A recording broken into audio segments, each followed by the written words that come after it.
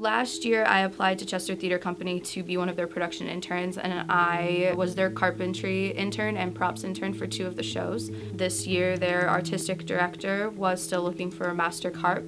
I had offered to do overhire, and then he called me and asked if I wanted to work full time. I help facilitate the install of the sets, as well as running all over the Berkshires looking for props for the shows. Right off the bat, I got tossed into the deep end on how to be a leader. It helped me grow more as a theater artist and a collaborator in the field. Westfield State has given me a lot of opportunities to lead the charge on a lot of different projects, and so I felt very well prepared when going into this role of basic understanding of carpentry and what I had to do, as well as how to work with a whole bunch of people.